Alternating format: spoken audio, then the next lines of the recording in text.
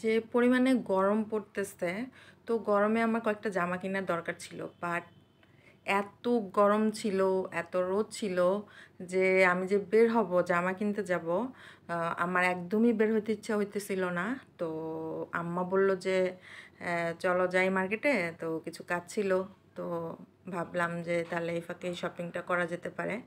তো এই তো তো আমরা শপিং করে ফেললাম। এর মধ্যে হচ্ছে আরিয়ান আমাকে ফোন দিছিল, বলে, আম্মু, তুমি কোথায়? তো আমি বললাম, তুমি কোথায়? বলে, আমি তো আসছি হচ্ছে ইয়েতে। কি যেন সনি স্কোয়ারে তো আমি বললাম, ও আচ্ছা তাহলে আমরা তো এক নাম্বার আসি চলে আসো। তো এর মধ্যে আম্মার সাথে আমরা যখনই আম্মা সব বের হই, তখন কিছু না কিছু খাওয়া হয়। তো আম্মা বলল, চলো আমরা বিকেলে নাস্তাটা কিছু একটা খাই। তো পরে ভাবলাম যেহেতু কিছু একটা খাব, তাহলে স্যুপই খাই। তো এই তো তো আমরা বিকেলের নাস্তা, স্যুপ আর অন্থনটা খাই।